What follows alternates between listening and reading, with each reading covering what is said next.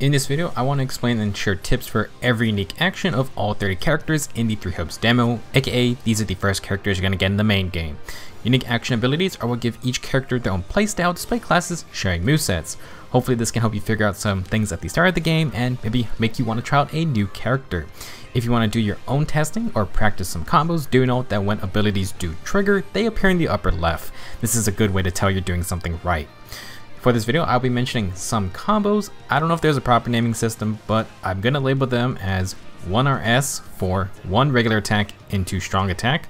So 4RS would be four regular attacks into the strong attack finisher. If I mention a full regular attack chain, just keep doing regular attacks. Now, let's get started. First up, our protagonist Shez. Shadow Flash lets Shez occasionally defeat non-commander units when attacking, increasing with hit count. I believe this effect is tied to the RNG purple horizontal slashes, and if the effect procs enemies have a dark red slash on them, it's really hard to see, but basically just hit more enemies and you have a chance to one-shot the cannon fodder. Second part to Shadow Flash is activated with ZR. You can hold it down to dash until the gauge runs out, but you can still get hit. You can use it as a longer range dodge for the purpose of cancelling out of combos or chasing after enemies you knock back. Let's now go over each house's characters, starting with the Black Eagles. Edelgard's Solar Prominence is always active, imbuing her attacks with fire. Fire attacks can ignite enemies, and ignited enemies can combust for what I assume is more damage. It's not really explained. Any class Edelgard uses can get permafire element to their attacks, but the house leader's unique effects are meant to go with their unique classes. Edelgard's Armored Lord and Emperor classes have an ability called Emperor's Ploy, which guarantee ignited enemies explode when you use their class actions. The Armored Lord's class action is also fire, so basically swing away, burn enemies, and make them explode. For Hubert, his Dark Conjuration is incredible. Every attack he makes has a chance to impale an enemy with a Dark Spike. You can keep attacking spiked enemies to power it up, which is quite noticeable, and then press ZR to detonate all spikes to inflict dark damage. This has no cooldown, and dark damage can inflict Spellbound, which lowers defense and res on foes, so this is a solid ability for any class. Give it a try with a bow, and Hubert racks up the spikes insanely fast. Ferdinand's maximum ambulation is just pure plain fun. At 300 hits, Ferdy gains a speed boost proportional to hit count. Just keep hitting enemies and Ferdinand gains after images, he attacks faster and he moves faster. More attacks means more damage, so a simple but good unique ability. As far as I could tell, at least for level 1 of this ability, Ferdinand gains a second tier of speed boost at 1500 hits. He turns slightly blue at this point. I kept testing till 5000 hits, but did not see another tier. Linhardt's Easy Breezy is one of the more lackluster unique actions. When you complete a regular attack chain, he spawns two wind orbs that periodically deal wind damage ahead of him. They follow Linhardt, but they attack very slowly and barely apply the Wind Torn status. You do need to reactivate this ability every so often. Unless Easy Breezy attacks faster or applies more wind damage at later levels, I'm not sure how useful that's going to be later on.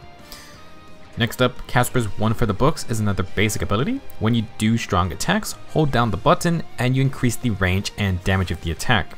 No need to time anything, just hold it down and Caspar will unleash the empowered attack when it's ready. Obviously, more damage and range are great, but you're open to getting hit. I assume this skill will let Casper charge up for longer for more risk reward playstyle as it levels up. This ability may be more interesting when we unlock advanced and master classes, which should come with more combos. For Bernadetta's personal space ability, hit ZR to deploy a circular field that freezes enemies and increases crit rate. This field lasts for 30 seconds and has about a 1 minute and 30 second cooldown, so downtime of 1 minute. This field will freeze just about any enemy that comes close, but it does not move. I think Bernie is supposed to camp in her field and shoot arrows from within, so this ability may do worse on melee classes that move around a lot. As for the crit rate bonus, I don't know how much it grants, but I believe the field helps any ally within it, so you could lay it down, or you could lay down Bernie's field, then other allies can attack from within for some crits. Dorothea's unique action is going to be Prismatic Resonance, and this one is a bit random. When doing regular attacks, there is a chance to spawn musical notes around Dorothea, and attacking those notes will trigger elemental shockwaves. At least for level 1, Dorothea only spawns fire, lightning, and light notes. As a mage, I think the idea is that you use the mage class action to aim and hit the orbs but the mage regular attacks are so widespread that you'll likely tag anything in front of you. I'm not fully sure what to make of this ability since I don't think there are benefits to applying multiple status effects to enemies. If anything, it's extra AoE and damage just for attacking. Petra's Windstorm ability is quite interesting. It's simply longer dodge distance, but it does deal wind damage and I found that it allows Petra to chain combos extremely well. For example, you can chase after targets sent flying similar to Shez, but since Windstorm deals damage, Petra can knock up enemies from the ground and that lets her sort of juggle them longer. Since this modifies Petra's dash, there is no cooldown, but the dash itself doesn't deal huge damage, so it's mainly to gap close and continue comboing. Monica's Wicked Impulse is one that requires timing on your attacks. After the first regular attack, a circular indicator closes inward and you need to attack as it reaches the center. There is a sound indicator as well, and I like to think of this like the fishing minigame from the monastery. Time it right, and a red shockwave emits from Monica, adding some damage.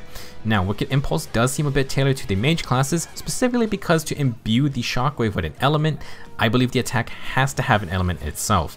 That means this only works on the mage's strong attack combos, and Monica's support ability increases damage against enemies with status effects, so she really is meant to be a mage.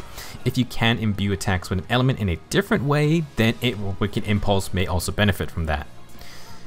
The Black Eagles get two non-students at the start. First is Manuela who has the Thunderous Refrain unique action. Very solid ability, simply attack enemies and Manuela gets a lightning damage field around her. Keep attacking to fill the gauge on the right side and when it's full, press ZR to detonate the field for some damage and knockback. Lightning damage applies shock to enemies and knocking them back discharges them for extra AoE and it spreads shock to enemies around that. So you're going to want to shock enemies within the lightning field, press ZR to knock them back. You can also knock back enemies with the full regular attack chain in the Priest class or do the 3 regular attacks into strong attack combo.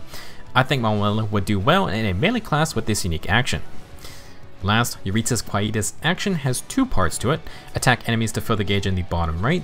When you hit around 25%, Jeritza's weapon starts to glow and this means you passively get a damage boost completely fill the gauge, and press ZR to attack with a big sight for big damage. Now I thought you had to use this with Jeritza's support ability which improves crit rate on 4 HP foes. However, unless I have godly RNG, Quietus just always crits regardless. Basically, you can use it at will. The downtime to get the attack boost back is so short, you can treat it almost like a free combat art since it very often reveals the stun gauge on foes. Moving on to the Blue Lions, Dimitri's Azure Lightning just makes all his attacks deal lightning damage. Like Manuela, you want to shock enemies then send them flying like Team Rocket. Now, how do I send enemies flying consistently? Well, Dimitri's King's Might support ability triggers when you send foes flying, so you can see exactly what moves do this. For Dimitri's High Lord class, this happens on his full regular attack chain and his 3RS combo, aka the Beyblade Spin. However, the High Lord class lets Dimitri charge up strong attacks like Caspar, and this charge up creates new knockback combos. When charging, 2 regular into strong and 4 regular into strong now proc King's Might. The charged up Beyblade also still works. Generally speaking, I noticed on any class the full regular attack chain and 3RS combo are the ones that send enemies flying. For Dedue's Demolisher action, he can charge his strong attacks and they trigger blasts that deal damage. Not stated in the description, but this is fire damage, so it can ignite enemies. Additionally, Dedue's preferred class is Armored Knight, and the Armored Knight has the Impregnable class ability, which prevents you from being knocked back when performing a strong attack. That would seem to synergize with Demolisher's charge up, but I have been knocked out of the attack, so I don't know how impregnable the Impregnable ability actually is. Felix's intense velocity increases his speed when you do a dodge during an attack string. This stacks up to 7 times, and like Ferdinand, you know you're at 7 stacks when Felix turns slightly blue. There is a timer between proccing intense velocity signified in the bottom right. You'll know you did it right when the timer resets. If you don't reactivate this ability, Felix has to start all over, but you can literally just attack, dodge, attack, dodge over and over, and you'll get back to 7 stacks. Now, like Petra, Intense Velocity does deal damage, but without the extra range and needing to attack first, I'm not sure if you can use it to juggle foes. It's more about the speed boost for Felix. Next, we have Ashe's Wind Stance, hold ZR to bring up a target, and move with left stick to place a zone of wind. Similar movement to the Archer's class action. This field lasts for 15 seconds and its cooldown is about 1 minute, so 45 second downtime. Any enemy who walks in the field gets tossed up and they take some wind damage which can apply Wind Torn. For commanders, you do kind of need to knock them out yourself though, so you can't do combos that knock enemies out of it. At the moment, I feel a bit lost on this ability. It does provide some AoE safety, but you can knock enemies out of the field really easily, and it only lasts for 15 seconds. If the cooldown gets shorter with levels, this may become a stronger ability, but I don't know how to feel about it. You can't add it to the end of a combo though if you're looking for some extra damage. Sylvain's Gordian Stroke increases his attack range and damage in proportion to his hit count. Pretty basic, but very fun to look at. At 300 hits, Sylvain's weapon turns yellow for tier 1, at 900 hits it turns orange for tier 2, and finally at 1500 hits it turns red, looking like a Sith Lord with a Sephiroth-sized lightsaber. For my brief testing, it appeared at the last tier, Sylvain was doing almost double damage, so definitely worth keeping those hit counts up. Ingrid's Icy Plunge deals ice damage when you send enemies flying. You can tell it's working in a similar way to Dimitri because Icy Plunge always activates on certain combos and you'll see enemies explode with icy particles. Ice damage can freeze enemies, so it's an incredibly good perk. Once again, to send enemies flying, almost always the full regular attack chain triggers Icy Plunge. Additionally, the 3RS combo also triggers it. For the Pegasus Knight class, when you're flying, Icy Plunge triggers off the full regular attack combo and the 2RS combo. For any a class you're playing, just check the upper left for when Icy Plunge procs. Next, Mercedes' Radiant Love is sort of the opposite of Jeritza's unique action. Attack enemies to fill a gauge, and at 25%, Mercy starts to passively heal herself over time. It's not a ton, but it does proc decently often.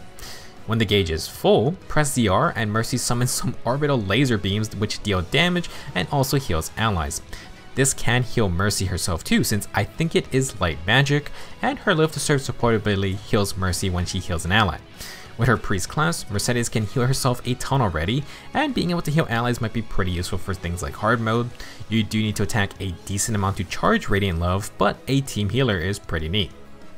Okay, so Annette's Courageous Aria is one of the most complex unique actions, acting as a semi-random team support ability. Attack enemies to fill the gauge on the right, and press ZR when full to buff Annette and nearby allies. You can receive 3 buffs at random. First, units' attacks will be imbued with an element based on the unit. I haven't tested this enough or every other Blue Lion, but Annette gets special benefits in the mage class. She will imbue her attacks with wind damage, and she empowers the two wind combos the mage has. First is the 1RS combo, and Annette procs a second and third wind blast after the first. For the 4RS combo, she summons 3 tornadoes instead of 1. If you get the elemental buff, try these combos out. Now for buff number 2, you're going to increase speed. This is like Felix or Ferdinand's unique actions. Basically you attack and move faster, which means you can charge up another Courageous Aria buff. Last buff might be incredibly strong. All attacks become critical. Yeah, that has the potential to be really good, especially if units have crit based perks. You'll know you have this one when you see all yellow damage numbers or really bright red slashes. For some tips, Annette will always buff her adjutant, so you can swap in if you see the crit buff for example. As for buffing allies on the field, if you hold the L shoulder button, you'll get a white ring. It's not exact, but if an ally is generally within that circle, you should buff them as well. The range is definitely farther than the indicator that appears around Annette. As for the length of these buffs, each one lasts 20 seconds. Last up is Rodrigue. His martial prowess is similar to Monica's unique action, Time your attacks as the yellow circle reaches the middle and Rodrigue gets bonus damage, attack range, and knockback rate. I don't think I mentioned it for Monica, but even if you mess up in the combo, you can continue it and martial prowess can still be activated throughout. Last house is the Golden Deer, starting with Claude's Dust Cloud. He imbues all his attacks with wind, and his leader's acumen and support ability increases his awakening gauge when attacking enemies launched in the air. Wind torn enemies also take extra damage in the air, so Claude wants to juggle enemies in the sky for as long as he can. His unique class has some nice moves, but if you want to keep foes in the sky, I suggest using 1RS and 4RS combos. The most consistent combo I could find was 1RS, which is the tail flip, then do 4 regular into strong for the tornado, and you can either chain regular hits or use the Wyvern's Fireball after that. Last tip, if you dismount Claude's class action becomes the Archer's Rain of Arrows. If you charge it to the second circle, Claude's arrows deal fire damage instead of wind. Hilda's Lightning Bound lets her charge up strong attacks to increase damage and deal lightning damage. While charging, she also pulls enemies in a cone in front of her toward her so she can smack them. You don't have to fully charge the attack to deal lightning damage, but Hilda does deal more damage if you charge it all the way. You can also turn while charging to pull in more enemies. To discharge shocked foes, if you use the Brigand class, you can use the reliable 3RS combo, the Rolling Spin move, the full regular attack chain works too. A good combo I found was to do 1RS to shock enemies and uppercut them right in front of Hilda, then you do a full regular attack chain to discharge them. Before doing my testing, I was about to write off Lorenz's Rondo of Roses as kinda not good. Turns out, I didn't watch a tutorial video long enough because the description is sort of misleading. So, attacking enemies fills the ability gauge. When filled, press ZR to damage foes in front and lift them in the air. This is okay damage, but there's a second part which is or might be more useful. When you fill the gauge above 50%, it turns bright yellow and Lawrence is surrounded by roses. This signifies that the next attack that hits Lorenz will be automatically blocked and enemies get staggered around him. You don't have to do anything. Blocking a hit like this takes up about 30 or 33% of the gauge, this is amazing because literally Lorenz can just keep attacking, you fill Ronda Roses back up, and it's gonna block damage for him. He fills the gauge relatively quickly, so if you just keep hitting, you can shrug off singular attacks, and if you aren't in danger, you can use the active for some bonus damage and crowd control. If you don't like dodging or guarding, Lorenz might be for you. For Raphael's Pure Brawn, it's another charge-based ability, but he can charge regular and strong attacks, that charged hit deals more damage and has greater knockback and more likely to reduce the stun gauge. After this hit, Raphael glows yellow and gains bonus damage. At level 1, he can reach tier 2, which I think is after doing 7 charged hits, uh, not completely sure on that. Raphael will glow orangey when he reaches tier 2. At level 2 of the skill, he can reach 3 tiers, and at level 3, he can reach 4 tiers. Similar to Felix, you have a timer to keep the tiers of bonus damage. Doing a charged hit doesn't fully reset the timer either, so you do need to do multiple charge hits early on. Pure Brawn is a more intensive ability, but that means Raphael may get reported more if you can keep charging and comboing. Ignatz' Dreamer's Paintbrush is one of those random base skills. When you send enemies flying, Ignatz splatters them with random paint that stays on the ground, and different colored paint deal different elemental damage. Currently, I've only seen orange paint deal fire damage, dark blue deals lightning damage, and the teal color deals ice damage. I haven't seen anything else. Unfortunately, if you play as an archer only, the only move that sends enemies flying is the full regular attack chain. If you just want to play Splatoon, you may want to try the Mercenary class who has class actions that just knock back enemies naturally. If enemy density is high, Ignatz might be pretty strong. You do need to find which combos send enemies uh, flying though. Next is Lysithea, who shares some similarities with Ignatz. Cursed Expulsion deals dark damage when you send enemies flying. We have another character who really wants to know which combos send enemies flying. At least for a mage, Lysithea can do the full regular attack chain, or 3RS. Dark damage applies the spellbound status, and if enemies are spellbound, Lysithea can press ZR to draw them back to her. This has a short cooldown unlike Hubert's skill. While the extra dark damage on knockbacks is great, when you use Cursed Expulsions active, I think it does get rid of Spellbound on the enemy, and I don't think it does damage. This is bad because Spellbound lowers defense and res, plus enemies can't guard damage. I don't really care about pulling in the cannon fodder since they die so fast, so I'm not entirely sure if the active is worth using. I'd rather just deal more damage to the commanders when they're spellbound, although this could be used for crowd control. Like Ignatz, if you really want to proc the Dark Explosions on mobs, then the Myrmidon sword classes might be worth a try.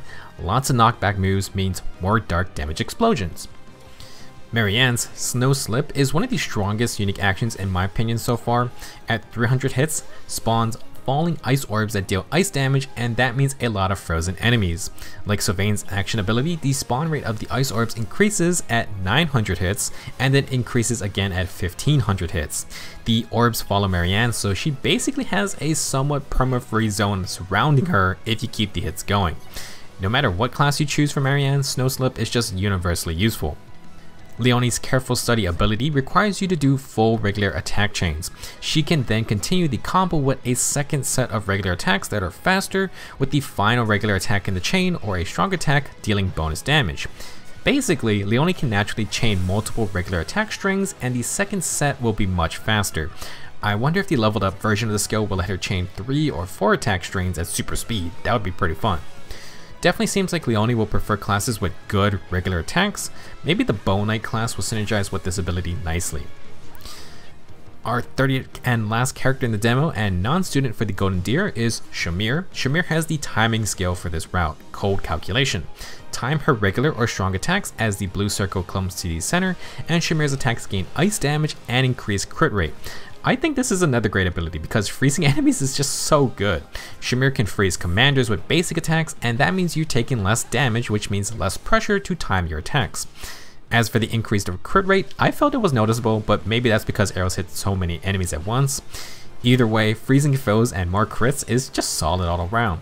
Another skill that can benefit pretty much any class you choose. That will do it for the unique action abilities of the first 30 characters in Fire Emblem Warriors 3 Hopes. There will be more characters to play as, but I gotta play the full game first. I do plan to make some videos for 3 Hopes, so stick around. The game launches very soon and I'm very excited. Maybe we'll do an updated guide for all the characters in 3 Hopes, but if I do that, I'll probably try to split it up a bit. This is just a quick overview from everyone in the demo. This is definitely a game where experimenting with different classes and characters is encouraged. We also have the advanced and master class movesets to try out, so I'm sure there's a lot left to figure out. Thank you for watching, and I hope to see you in the next video.